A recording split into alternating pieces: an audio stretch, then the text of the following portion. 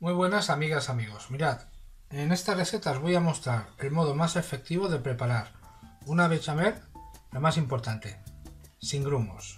Vais a ver que es súper sencillito. Y el principal truco, por así llamarlo, para que no queden grumos es este primer paso. Va a ser llevar un litro, bueno en este caso un litro, un litro de leche lo vamos a calentar, casi casi que rompa hervir. Vamos a darle caña.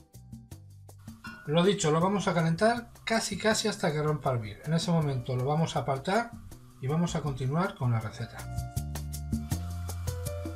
Bueno, mirad, nuestra leche está a puntito a puntito de romper al hervir.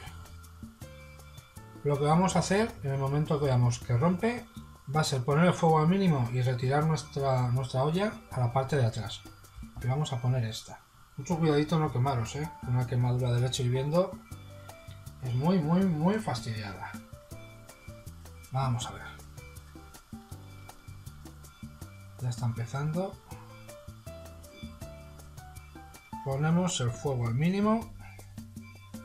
Apartamos esta olla atrás. Y mirad. Vamos a poner esta olla, que es donde vamos a cocinar nuestra bechamel. La vamos a cocinar a fuego medio, medio bajo más o menos por ahí. Vamos a añadirle 100 gramos de mantequilla.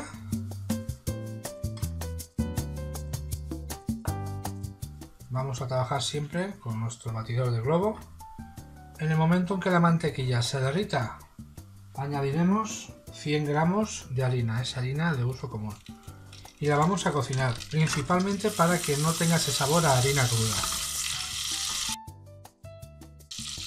Como veréis, hacer una buena bechamel no tiene ningún misterio y dificultad cero. Y para unos canelones, para una lasaña, viene perfecto. Y como la bechamel que podemos preparar en casa, os digo yo que por cada que la paguéis no la vais a encontrar en ningún supermercado.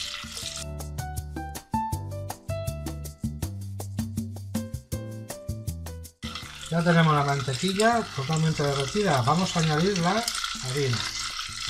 Y no podemos parar de remover, ¿vale?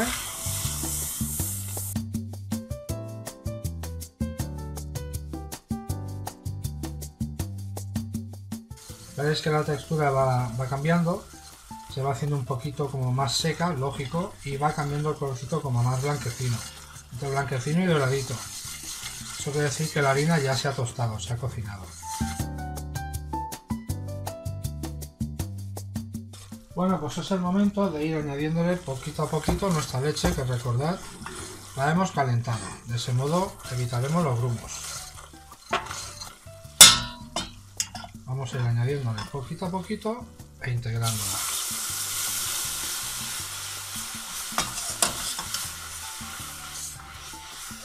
¿Veis cómo ya se separa del fondo?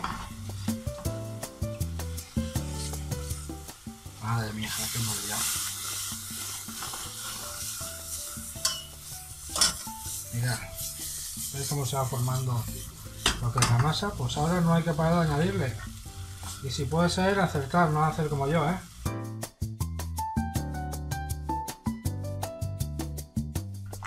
No nos quema para adentro. Y vamos a integrarlo todo.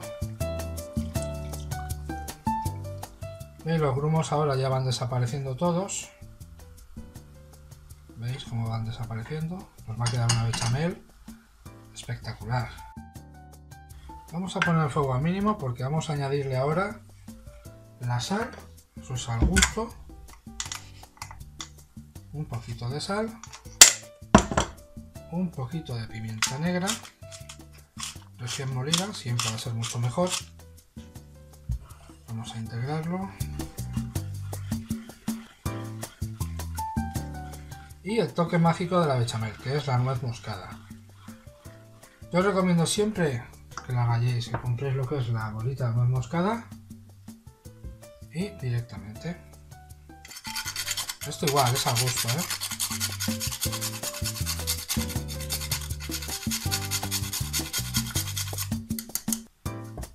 Vamos a remover.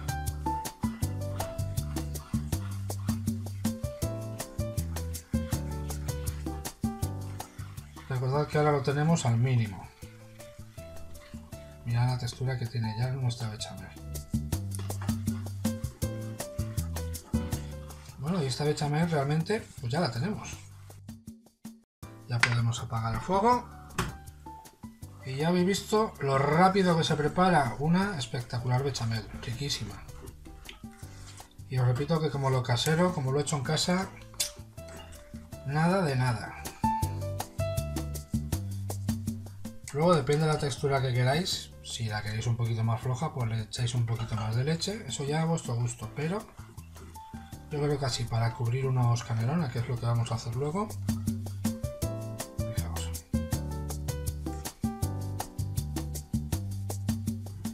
Bueno amigos, pues ya tenemos nuestra riquísima salsa bechamel.